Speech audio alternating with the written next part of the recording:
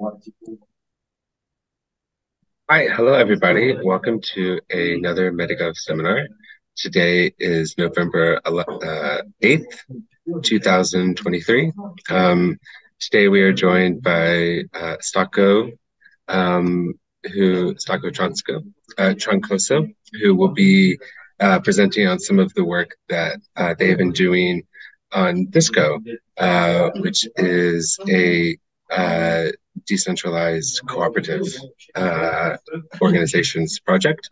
Uh, Stacco is a Groundwork Fellows fellow with us. Um, the Groundwork Fellowship is focused on the intersection of internet governance, design, and marginalization.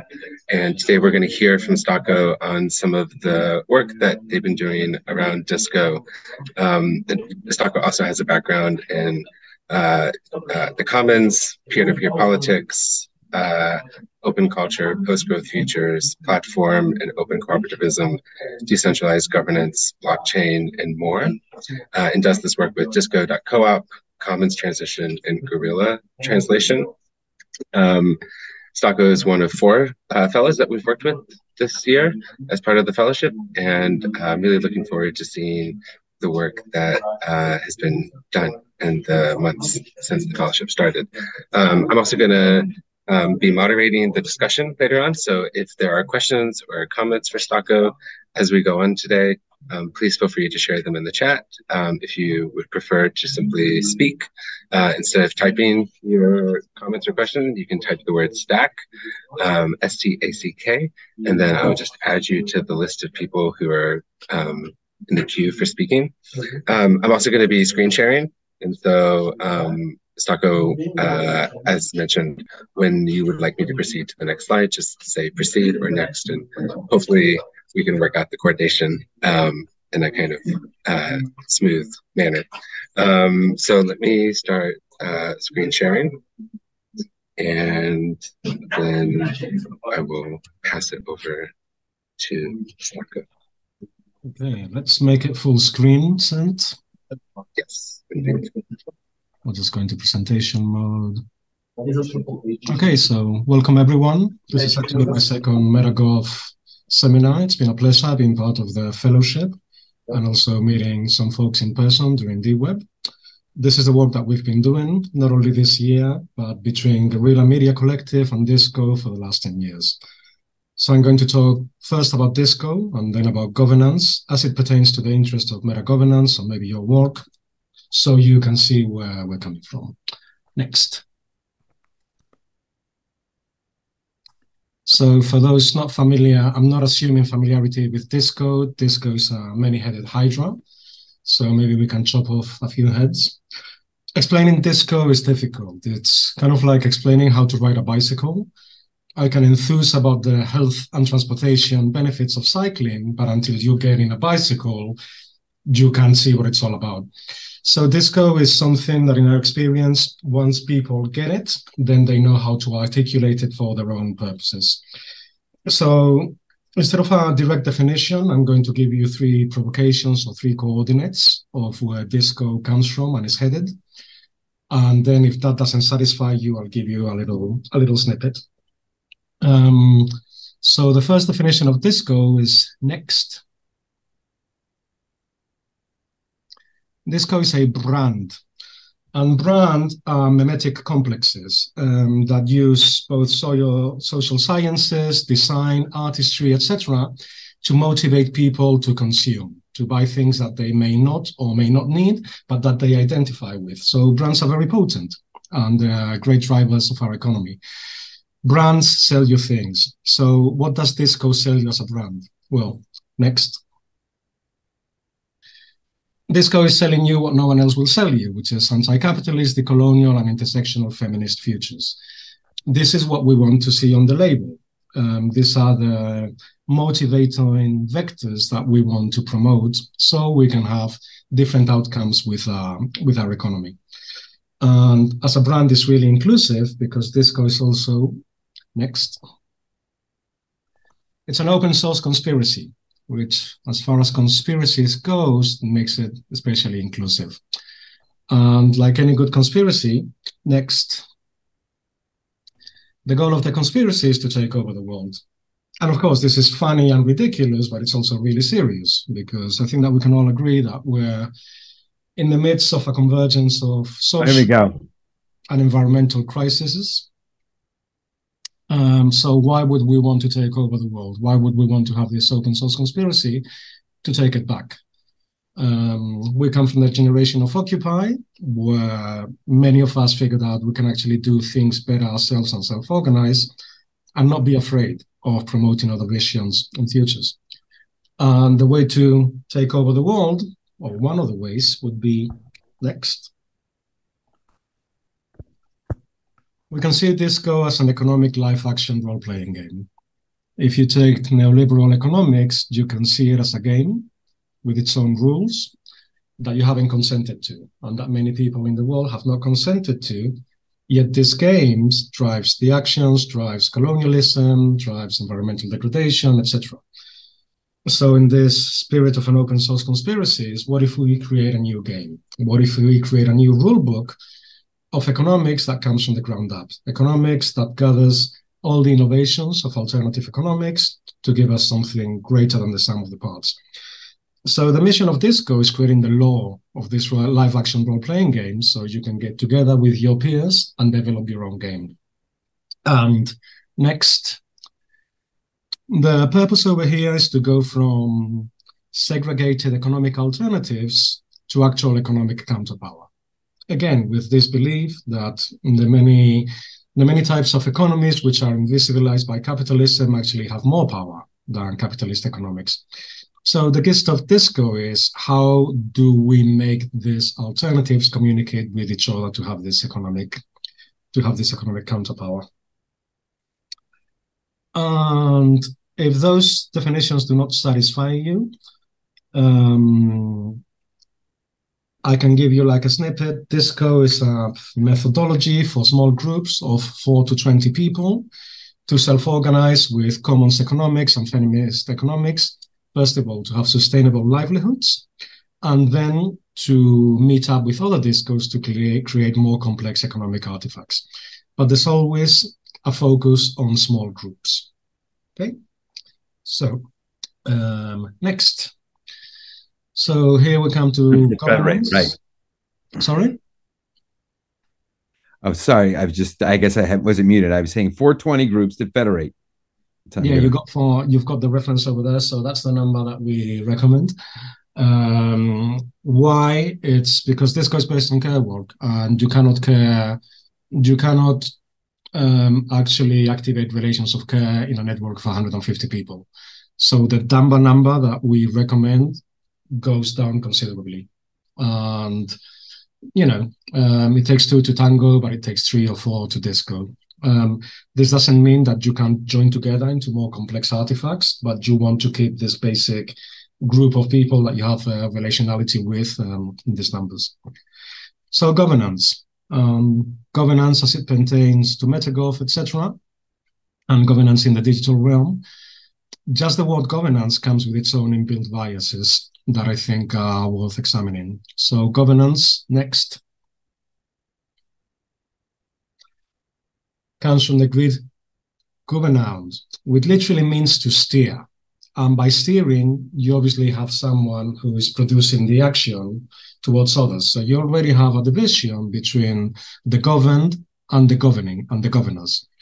And of course, in the case of Greece, the governors are the ownership classes, the, the oligarchs. They're obviously not the slaves, obviously not the women. So when we talk about governance um, in political economy since the 90s, there has been, you know, in liberal economics, this notable assumption that there's an expert class which governs. And you can see this in the blockchain space. Um, we can have a series of people design smart contracts for people to buy in and to follow and to make these great economic schemes. But if there's no cultural legibility where people feel ownership of how they're governing themselves, then that's not the type of governance that we want to see. Although historical examples could be next. Uh, An Iroquois Grand Council governed by consensus, which I'm critical of, but hey, Here we have 75% of the mothers and 75% of the men actually ratifying decisions. So no decision, no decision goes forward and unless it has that type of ratification. This gives rise to a very different type of political economy, which I would associate with the commons. The commons understood as um, a social process where a group of people gather around a gift or a resource, whether it's material or cultural, and govern it according to their own norms and protocols, not those of the market, not those of the states or the state. And the commons is nothing new. I mean, you can argue that this is the de facto mode of social organization. So coming from the commons and towards governance, um, we want to know what we're governing towards. What is the purpose of governance? And I would say, next, that the purpose is to articulate value. We want to have agreements um, on our behavior and on our action to promote our values. And of course, in neoliberal economics, there's a great dichotomy um, between the purported values of liberalism or the Universal Declaration of Human Rights and the actual value that is tracked and measured in the economy.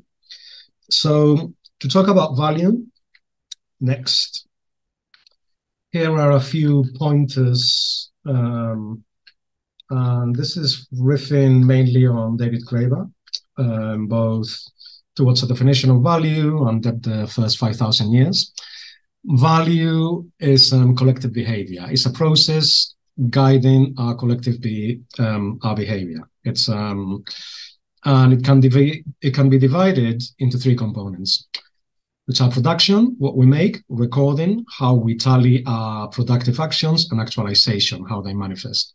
So in capitalism, production is for profit and extractive and built on a legacy of colonialism and market driven. Recording is opaque and abstract.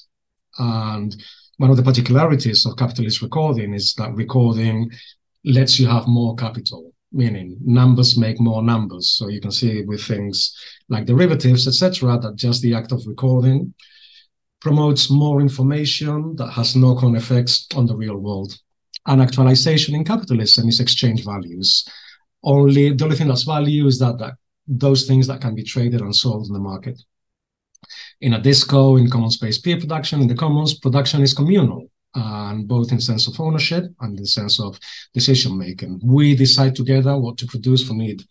Recording is transparent and based on other notions, which I will speak about. And actualization is for use value, not for exchange value. Actualization means things that can be shared things that can be used over and over, not merely sold as, as commodities or services. Something else that Graeber said that I find particularly illuminating is that often the discussion on value is about who appropriates the surplus value. The working class, the precariat, the disenfranchised, um, people with cool haircuts. It doesn't matter, but this doesn't strike at the question of co-determining what value really is and working towards the articulation of new values, again, away from, from capitalism. And what we propose in DISCO is that this articulation of value be centered on next. On care. And I would say that capitalism is actively anti-care. Um, unfortunately, we cannot do this. You may care about things, you may care about the environment, but current economics and current value driven propositions will not allow you to do that. Okay. And to give a definition of care, next. Here's a quote from Berenice Fisher and Joan Tronto. And they say, on the most general level, we suggest that caring be viewed as a species activity that includes everything we do to maintain, continue, and repair our world so that we can live in it as well as possible. That world includes our bodies, ourselves, and our environment all of which we seek to interweave in a complex life-sustaining way. So this is the kind of value proposition that DISCO wants to work towards with its governance proposition, caring for ourselves and caring for caring for the planet urgently, as um, everyone can understand care, and everyone can understand that the application of care towards these actions can remedy many of the problems that we find ourselves mired in. Next. So governance modeling. Um, by modeling, I mean there's no one governance model. There's no perfect solution. And if we're talking about groups of four to 20 persons, governance has to be based on their specificity. Um, another of the critiques that we have in Disco, both of blockchain culture, but even coming from earlier internet cultures and commons-based peer production, is this obsession with scaling. And scaling is the mentality of colonialism. Um, I may have something small and I think that it's really cool, so I'm going to scale it. And in the act of scaling it, I will be raising existing cultural traditions that may not be able to defend themselves against the scaling. So here we propose federation and we propose replication. So as far as governance goes, we're going to give next patterns instead of blueprints. Blueprints assumes that all possible variables have already been worked out within certain parameters. And again, you can see this as smart contracts, or you can see this as um, the results of game theory, rather than the messiness of human life, emotions, and things that just happen. So a pattern approach um, is what we suggest for any organization that wants to delve into, into governance. And for a short definition of patterns, next. Here we have an extract by my mentors, David Bollier and Silke Helfrich, talking about um, Christopher Alexander. In Alexander's view, a pattern describes a problem that occurs over and over again in our environment, and then describes the core, the kernel of a solution to that problem in such a way that you can use this solution a million times over without ever doing it the same way twice. And this is the ultimate purpose of Disco governance, meaning you figure out your governance for your situation and you document it. And you document it so there's a precedent that's accessible that's taggable, that has metadata that you can search for, so that other people can be inspired by your solution, but then arrive at arrive at theirs. Next. Okay, so the, the four main patterns of Disco governance are roles, um, who's showing up, who are the people, and what do they do?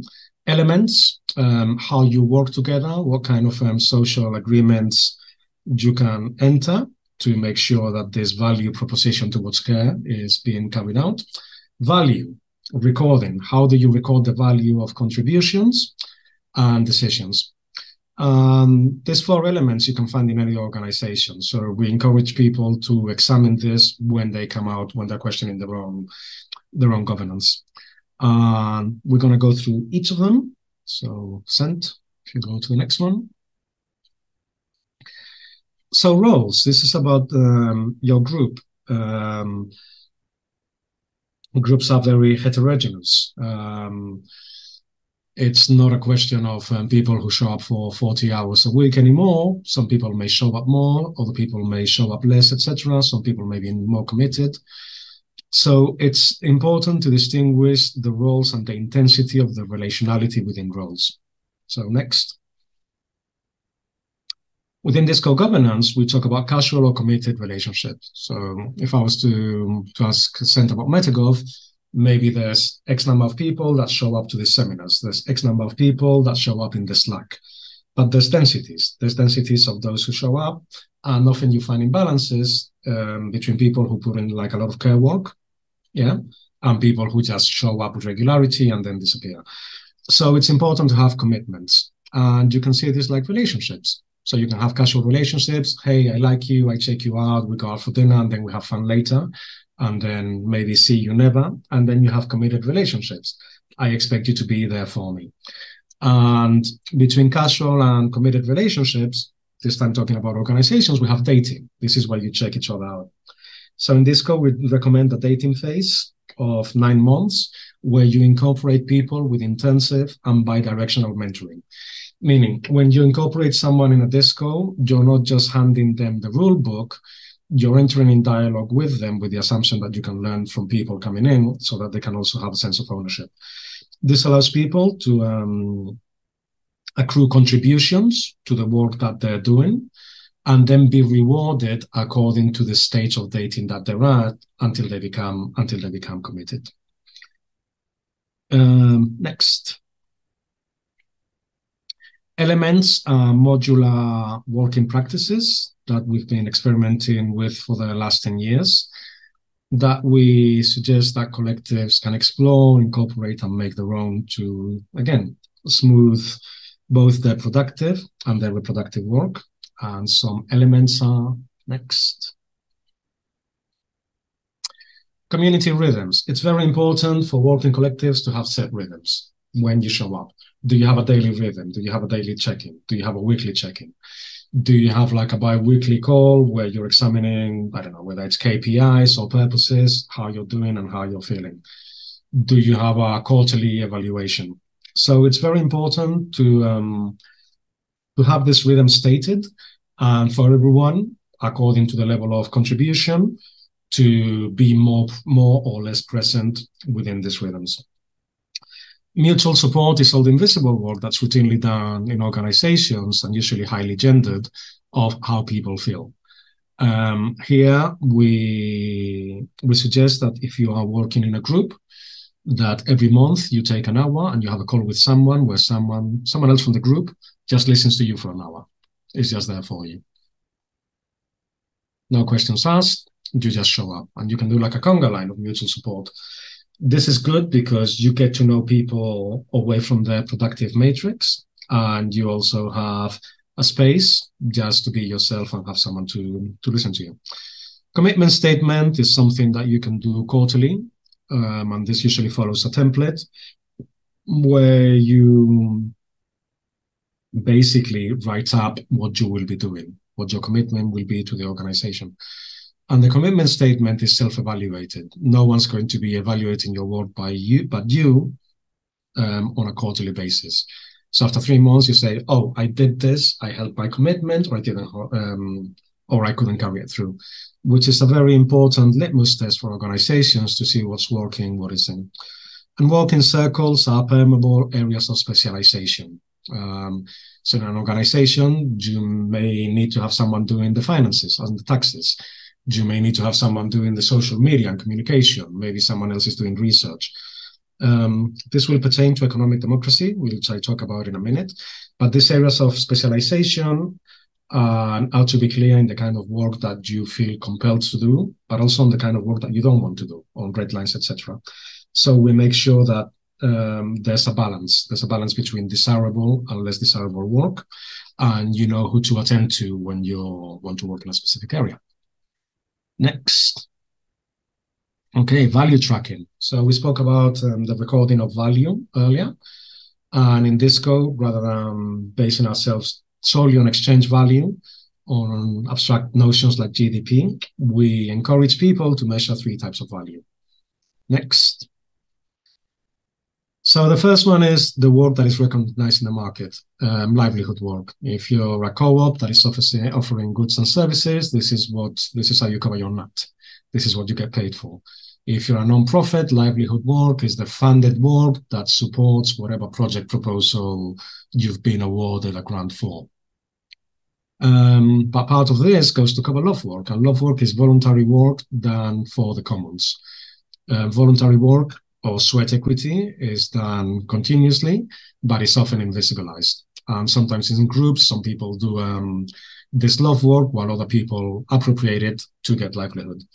And again, this is nothing new, and this is you can routinely see this in the creator economy or YouTube people that um, are doing things for free to then be able to promote products, etc. But in Disco, we codify it. So livelihood work and love work are both types of productive work. The first is recognized by the market. The second isn't, but is recognized by the disco. And there's a value distribution that I'll talk about in a minute. The third one is reproductive work, care work. And care work, um, there's two types of it. It's caring for the mission of your organization. If your disco, if your co-op has a spirit, has a set of values that you want to work towards, do you want to make sure that you're caring, um, that you're feeding them actively so that it thrives and it's also caring for the people in the organization with practices like mutual support. Um, care work is really important. Um, away from capitalism and in activist circles, you often find that a lot of people doing the admin are doing the shit work because there's no there's no specialized administrative staff doing that.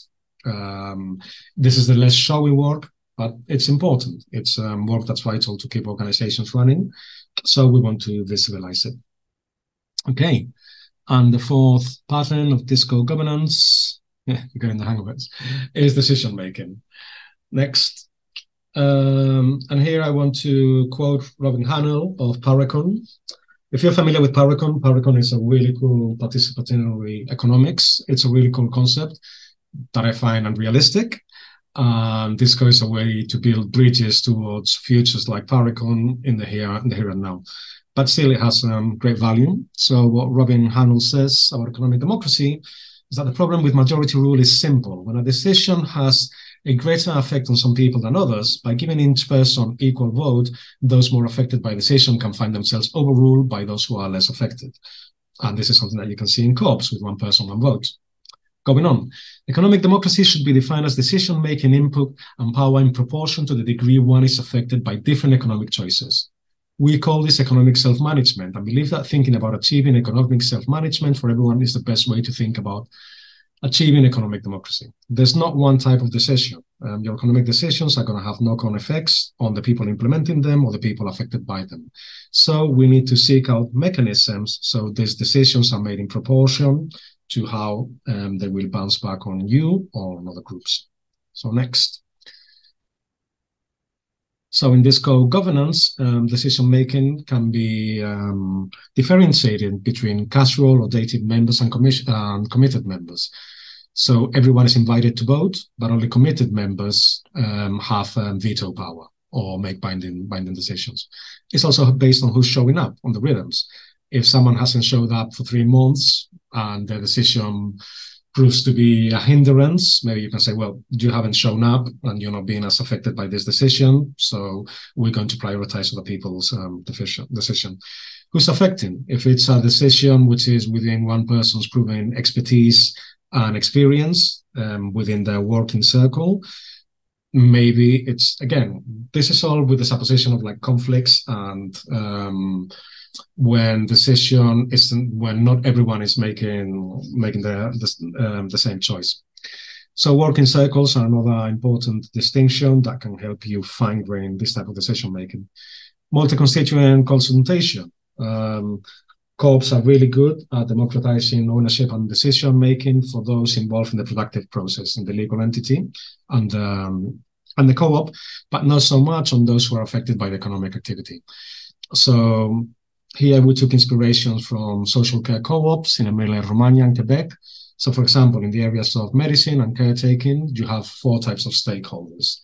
Um, you have the state who's providing the funding, you have the professionals, the doctors and the nurses, you have the patients and you have the family members. So this is a much richer conversation on what actions to partake rather than something directed from the top down in Disco, um, we encourage, again, with logic and rhythms, if you have a board, you check in with the board every three months, or when you're stuck in a decision, you go there. Another is historical credits, and this has to do with the measurement of value that I'll come back to in a minute.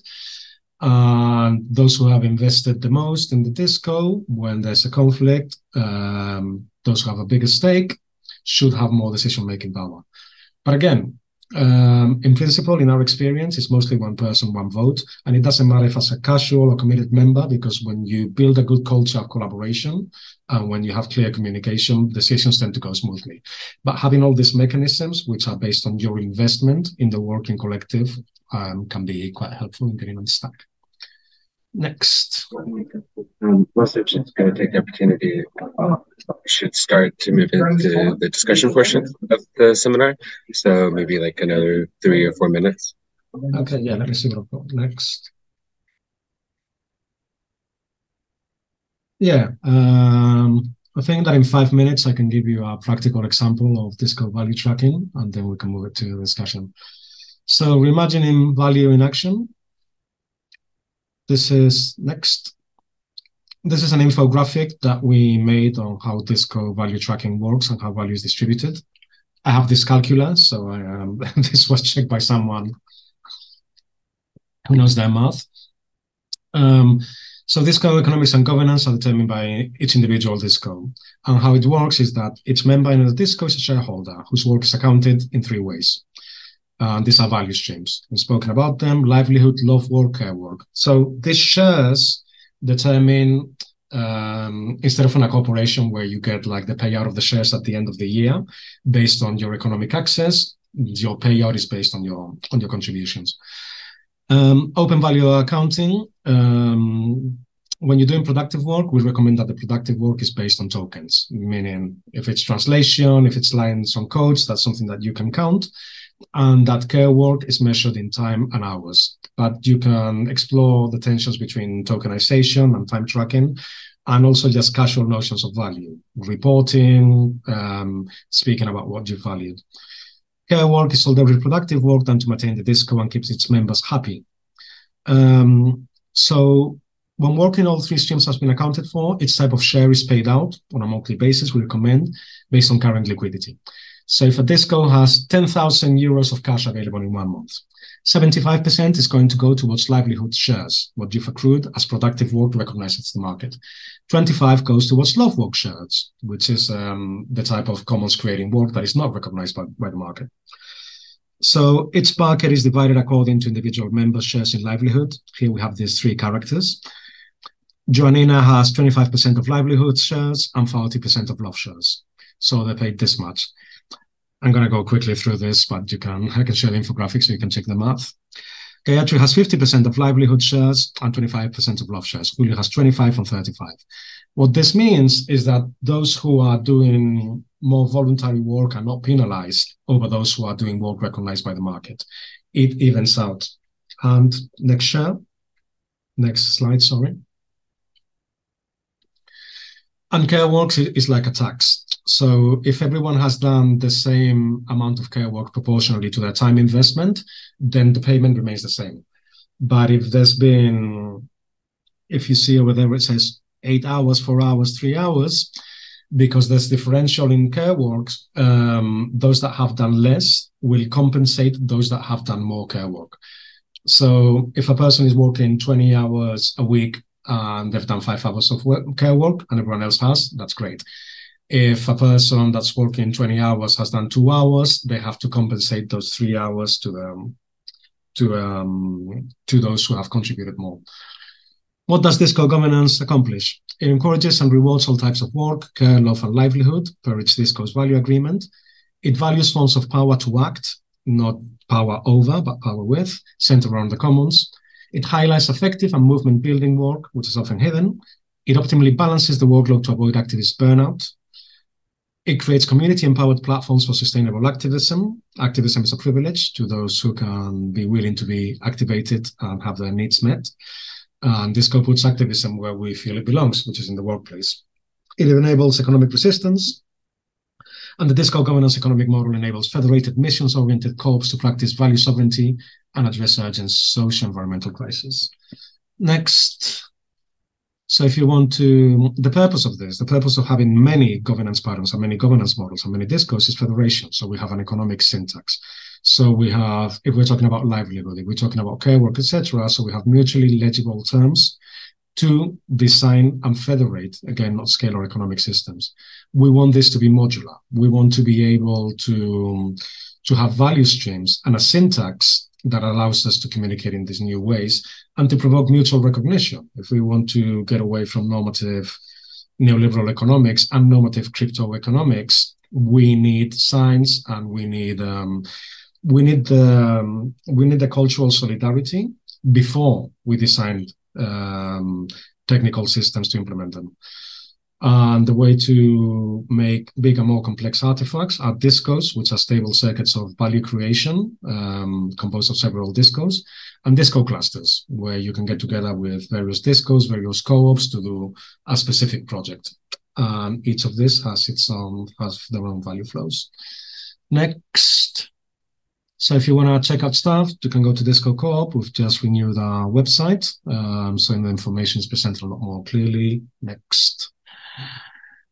Thank you, Sant. Um, so you got videos and stuff. Next. Uh, media, we have our publications, the manifesto, the elements, a series of articles and videos. Next. And what I recommend if you're new to Disco is that you check out the Disco basics. Next. So this is um interactive site with pop-up pop-up glossary definitions next that has been optimized for being mobile, where we talk about what is Disco, Disco principles, origins, journey and labs, the futures, the Disco project, how to get involved, Disco terminology, and more on Disco.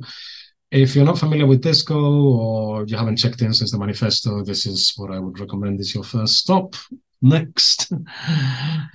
Thank you, Sant. Uh, finally, again, Disco Co-op, you can write to us at hello at Disco Co-op. Do you want to write to me? You can go to my website, Stacco Works, or follow me on whatever Twitter is called these days, or preferably in Mastodon, where I'm a proud member of Social Co-op, and you can find me there. Thank you. So I want to thank Sant because this this this is an example of invisible work, care work. Um, I was a translator for many years, so I'm very used to like being the people behind the scenes that actually make those who are up in front uh, being able to to do things. That's it. Well, thank you, Stacco, and thank you. Um, yeah, um, very happy to be able to support uh, as you present this this work. Um, so we have um, two comments coming in uh, already, um, one from Ian and then one from Steve. Um, I'll let each of them voice it if they like. And then as a reminder, if you have more comments or questions on anything this talk was presented, please uh, type it in the chat or type the word stack and then I can add you to the list of speakers. So Ian. Sure. Um, thanks for this great and really interesting discussion and presentation. Um, so I was thinking about, I went to the um, I forget the exact name. It was the uh, Radical Care Economics for Rotten Systems uh, event in Berlin back in July. And I was thinking about it then because we spent a lot of time talking about care and like the value of care. And I'm a social worker by professional background. And like, you know, it was my experiences in some ways, like after finishing undergrad and working a lot of like low wage jobs and all these kind of undervalued things that made me interested in that field. Um, and I, I think something that came out, but I don't know if it's as explicitly articulated. Maybe it's somewhere in the manifesto, but you know, this like valuing of care work and shit work and seeing like care work, particularly in organizations, so even like administrative work.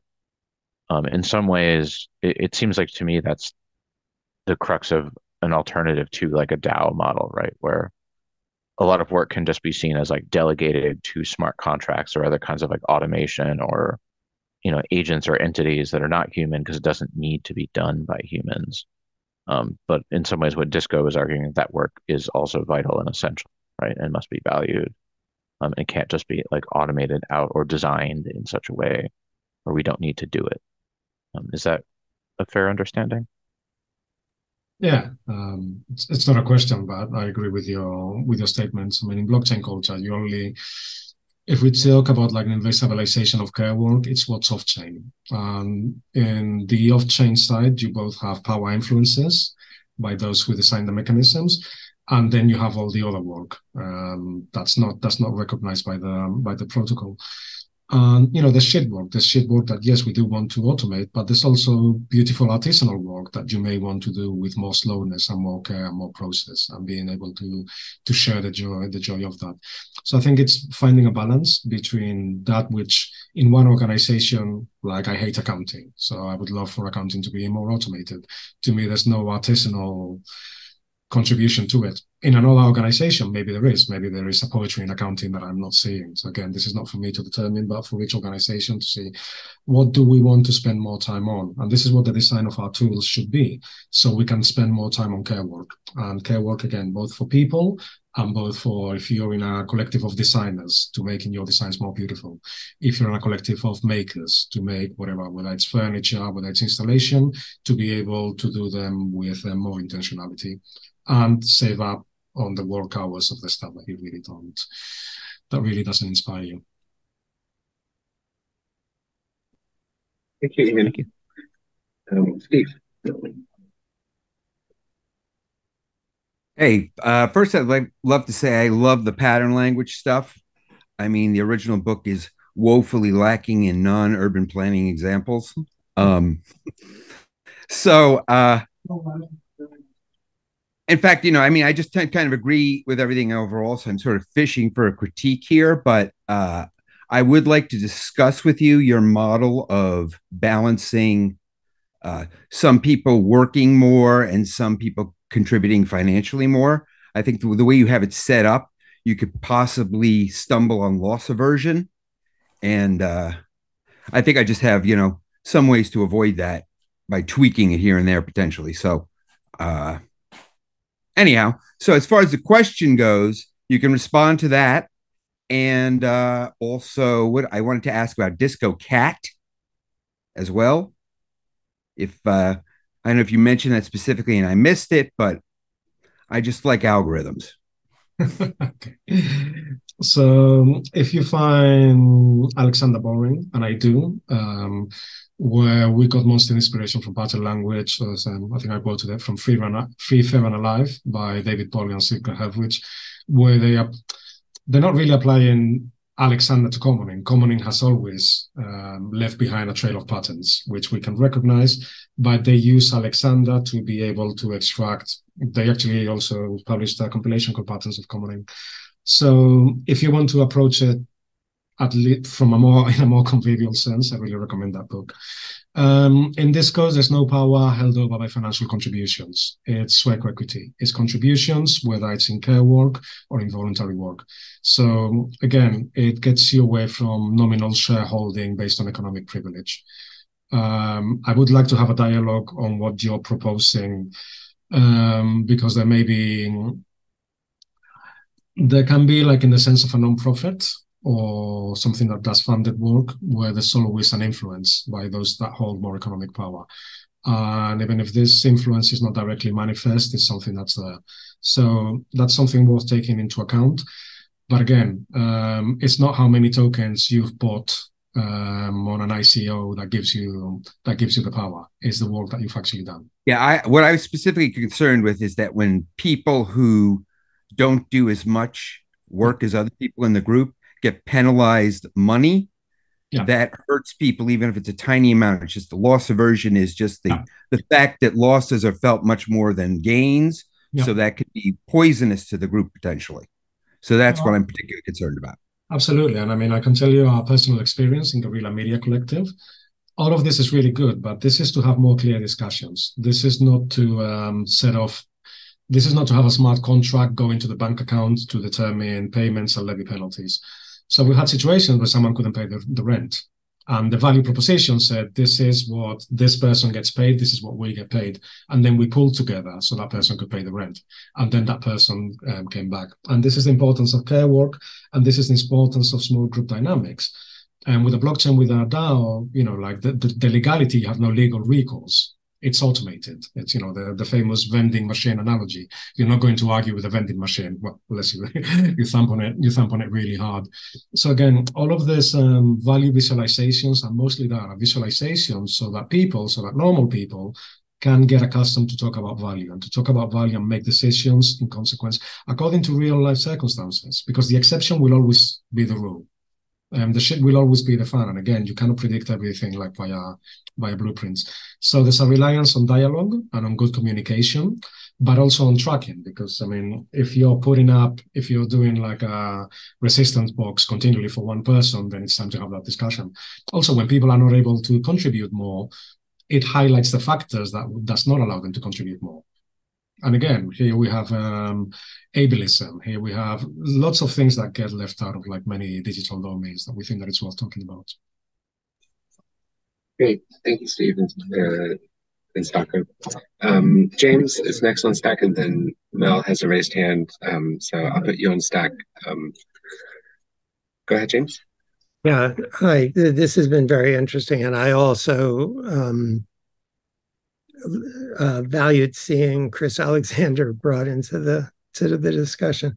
But um, I my I guess my question is just like there's off-chain uh, discussions and activity that undermine uh, DAOs. I wondered if there's any outside of the disco um, process um, activity that has the potential of undermining the disco. And I'm thinking in terms of consensual decision makings, where in in disco it's consensual, but are there any things like coalitions forming or something like that outside of the disco process?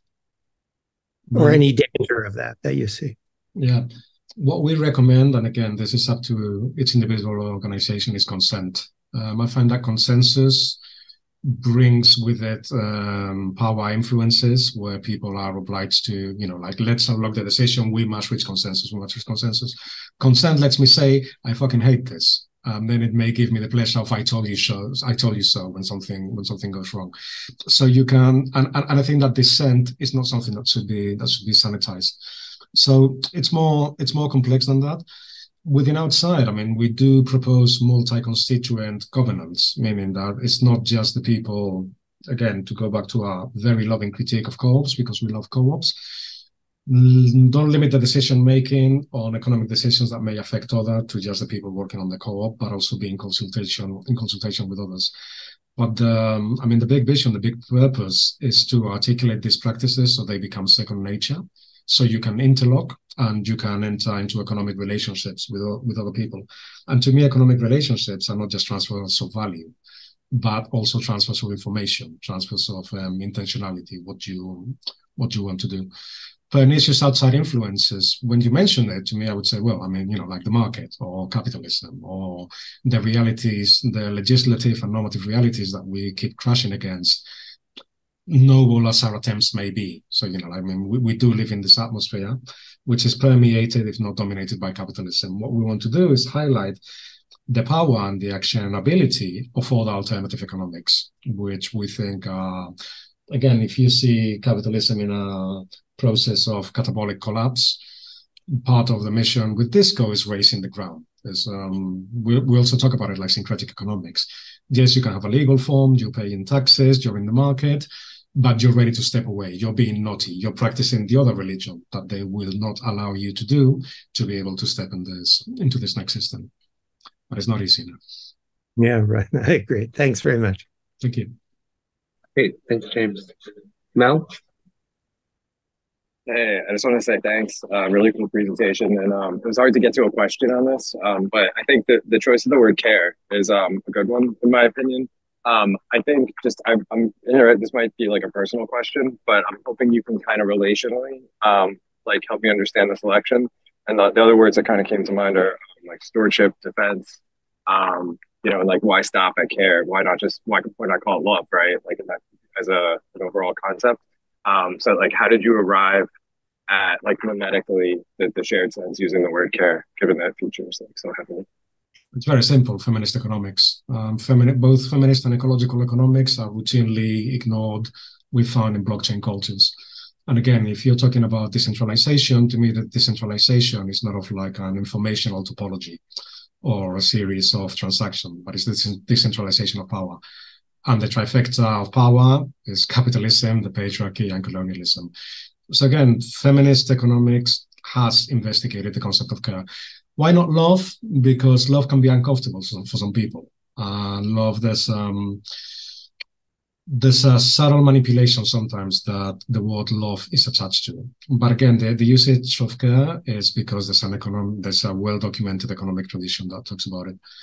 Um, sorry, because Steve, you mentioned the CAT, the Disco CAT. So this is community algorithmic trust, and this is a way to um, to use kind of like the logic of a community land trust, where a group of people with a shared intent find um, a legal way to perpetuate what that intent is. So, like, we get a piece of land and we make sure that this isn't exploited for your luxury apartments, but it will be a park.